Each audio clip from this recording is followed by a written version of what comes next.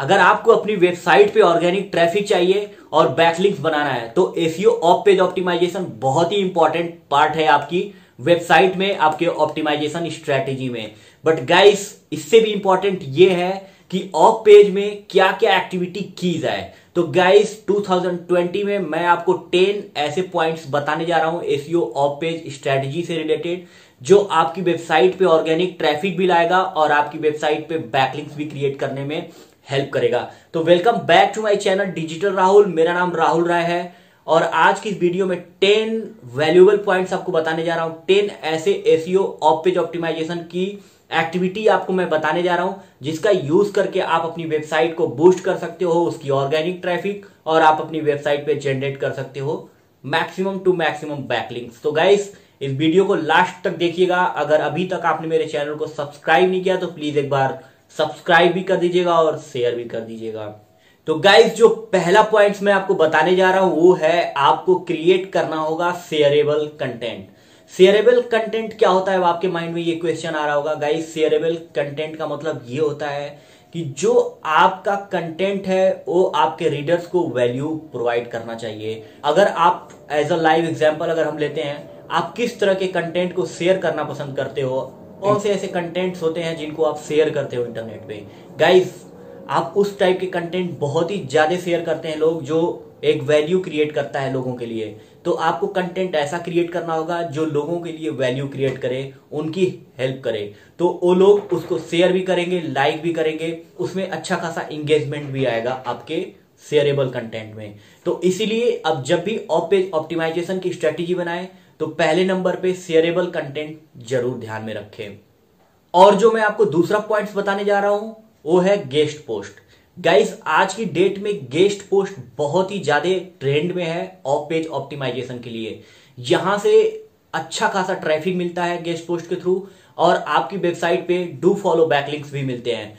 इसीलिए जितने भी एसीओ एक्सपर्ट हैं, वो गेस्ट पोस्ट ज़रूर ही रखते हैं अपने ऑफ़ पेज ऑप्टिमाइजेशन की एक्टिविटी में। इसलिए आपको भी रखना चाहिए ऑफ़ पेज एक्टिविटी में गेस्ट पोस्ट का स्ट्रेटेजी ज़रूर यूज़ करना चाहिए। और जो तीसरा पॉइंट मैं आपको बताने जा रहा हूँ, वो है आर्टिकल सबमिशन आर्टिकल सबमिशन बहुत ही बहुत ही स्टार्टिंग से आर्टिकल सबमिशन लोग कर रहे हैं और सबमिशन का सबसे अच्छा पार्ट ये है कि आपके वेबसाइट पे अच्छा खासा ट्रैफ़िक आता है रेफरल ट्रैफ़िक आता है आर्टिकल उस आर्टिकल के थ्रू और आपको बैकलिंक्स भी मिलते हैं। और आर्टिकल एक बहुत ही ज़्यादा ट्रस्ट वर्थी वेबसाइट्स होते हैं, जहाँ पे रीडर्स कंटेंट को पढ़ना पसंद करते हैं और वहाँ से शेयर करना पसंद करते हैं।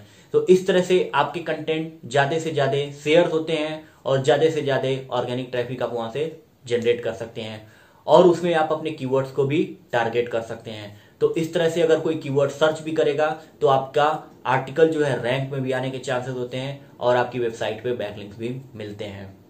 और जो फोर नंबर का मैं टिप्स आपको बताने जा रहा हूँ इन्फोग्राफिक्स क्रिएशन एंड सबमिशन आप इन्फोग्राफिक्स क्रिएट करके बैकलिंक्स क्रिएट कर सकते हैं। आप अपनी वेबसाइट पे ट्रैफ़िक जनरेट कर सकते हैं। गाइज़ इन्फोग्राफिक्स अगर क्रिएट करने की बात मैं करूँ तो आप बहुत ही आसान तरीके से क्रिएट कर सकते हैं। सपोज़ अगर आपने कोई ब्लॉग पोस्ट किया है आपका कोई आर्टिकल है कोई सबमिट किया है आपने तो आप उस कंटेंट की हेल्प लेकर आप इन्फोग्राफिक्स क्रिएट कर सकते हैं और इन्फोग्राफिक साइट्स पे शेयर कर सकते हैं। वहाँ से आपको बैकलिंक्स मिलेंगे, वहाँ से आपको ट्रैफ़िक भी मिलेगा।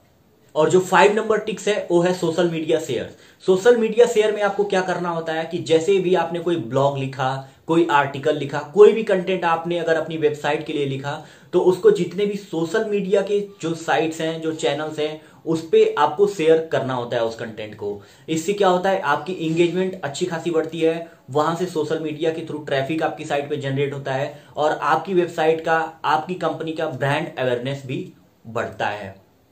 और जो सिक्स नंबर का टिप्स मैं आपको बताने जा रहा हूँ, वो है फोरम सबमिशन फोरम सबमिशन के बारे में आपको पता होगा कि फोरम की भी वेबसाइट होती है just like question and answer website वहाँ पे लोग किसी पर्टिकुलर सब्जेक्ट के बारे में लेके कन्वर्सेशन स्टार्ट करते हैं और लास्ट तक वो चीज़ें चलती रहती हैं। तो वहाँ से आपको बैकलिंक्स क्रिएट कर सकते हो आप वहाँ से अच्छा खासा ट्रैफ़िक भी जनरेट कर सकते हो। बट फोरम में एक प्रॉब्लम ये है कि आप तुरंत ही आप बैकलिंक्स नहीं क्रिएट कर सकते हो। वहाँ पे आपको थोड़ा सा पार्टिसिपेट करना होता है एक दो पोस्ट बिना बैकलिंक्स के, के पोस्ट करने होते हैं। उसके उसके बाद आपको फोरम के सिग्नेचर में आपको चांस मिलता है, वहाँ के बायो में चांस मिलता है कि आप वहाँ से बैकलिंक क्रिएट कर सकते हैं। और फोरम से अच्छा खासा ट्रैफ़िक भी आता है और अच्छी खासी बैकलिंक्स भी मिल जाती है।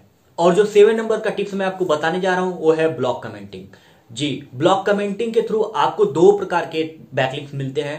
पहला मिलता है और डू फॉलो और दूसरा मिलता है नो फॉलो तो ये चीज़ें आपको चेक करके ब्लॉक कमेंटिंग करना होगा ब्लॉक कमेंटिंग की साइट्स पे, जहाँ पे डू फॉलो बैकलिंक्स मिले। Do follow back backlinks beneficial होते हैं आपकी वेबसाइट के लिए, लेकिन ऐसा नहीं कि आपकी वेबसाइट पे सारे जो बैकलिंक्स हैं डू फॉलो ही होना चाहिए।